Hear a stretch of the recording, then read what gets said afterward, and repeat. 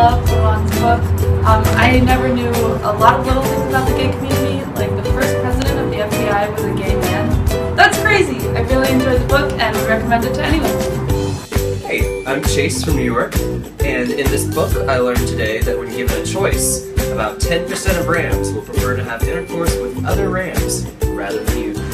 Hi, I'm Carrie. I'm from New Jersey and I currently live in Albuquerque. And before I read Jane men and women had been married under Hindu ceremonies. Uh, well, there was more Christianized Hindus who refused to acknowledge their existence